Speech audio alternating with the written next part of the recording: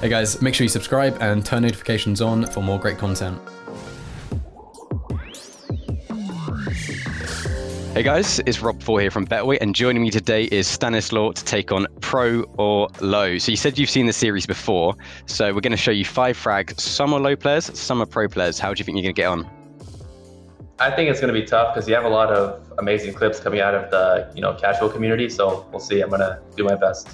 Yeah, sometimes they hit the most insane shots or do the most insane plays, but hopefully you'll be able to distinguish. So if we watch the the first clip, tell me what you're you're thinking, and if whether it's a pro player or a uh, or a bit of a noob. All right, let's do it.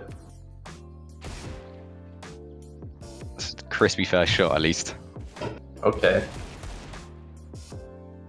So right. 4K. I kind of have an unfair advantage because I feel like I just saw this in a pro match lately. I don't remember which one. I, I want to say like Godsent versus FaZe or something, but it's definitely a pro because I know it was in a pro match.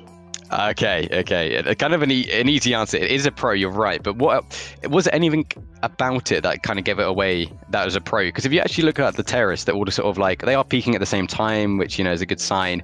But was there anything that would actually tell you that's a pro player compared to a low player?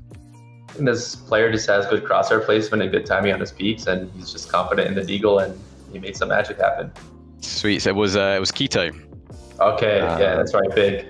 Yeah, yeah, exactly. I think against uh, against OG, and yes, you're right. It was very, very recent. Some of the pro frags are quite recent, so you know that might be a nice little clue for you. But you've got one out of one so far, so uh, good, good start. Uh, next frag.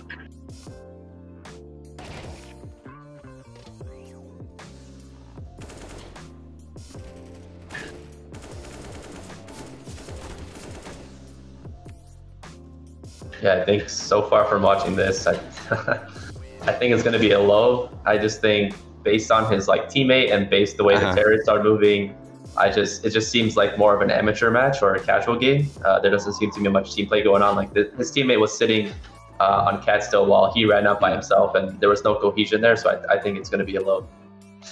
Wow, it's actually it's actually a pro. It's, it's shox. Oh, okay. Well, yeah. They need to get back in the server and watch other team play because they're just running around. I don't know how that works. But. Yeah, yeah, that's that's crazy. That's actually hilarious. Also, like the the the T on uh, B site, he probably should have killed shox. Like he had a, a good opportunity to kill him. So, um, were they um, playing against? There, that was actually it was against Complexity. Okay, interesting. Interesting. That's why they brought in JKS. That's why. that's exactly. that, that's probably NATO Suffix since that. No, I, I, NATO Suffix is a great player. Yeah. Um, well, well, yeah, we caught you out of that one. Uh, but on to number three.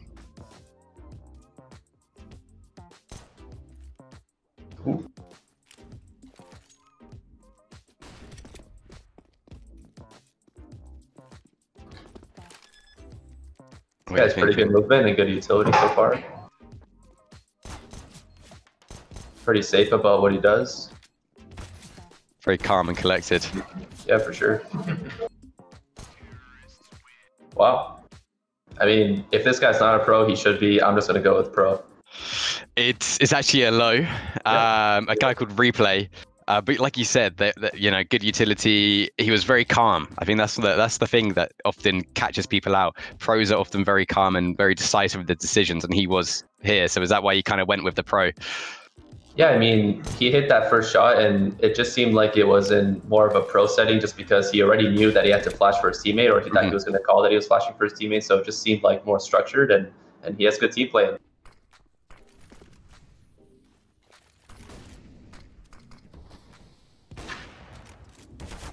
I've seen this smoke quite a bit before. A lot of pros actually use it in in, in their games. And this guy already he he had a plan to jump cat, but he missed the jump, and then he had a follow up plan. So he's very prepared.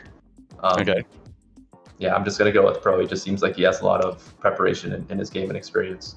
It is a pro, and it's surprising that this pro missed the window jump because it's, it's ZywOo. Okay. Um, like like you said, it seems like it seems like ZywOo. If it, any situation ZywOo gets himself into, he can get his his way out of it. Yeah, exactly. You saw he missed a win- he missed a catch jump. He already had a backup plan. He went underpass through that smoke, got a couple more kills, and then yeah, it's, it's just good preparation on his end. Yeah, for sure. So you got two out of four, uh, which means uh, the next frag you can get three out of five. So you can get over fifty percent at least. So let's see. Uh, let's see if you get that.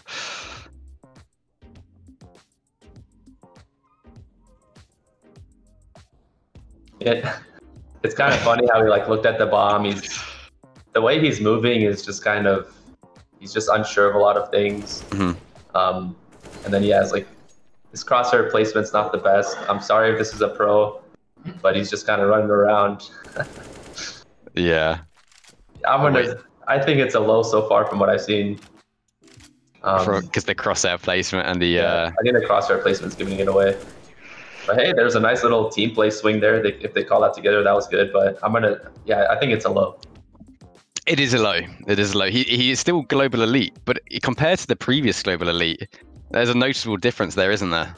Yeah, much notable. So that noticeable difference. I just think, um, yeah, crosshair placement could use a little bit of work and and um, a little more calmness. He just seemed a lot more hectic. He was getting a kill, then he was running around, going for another kill.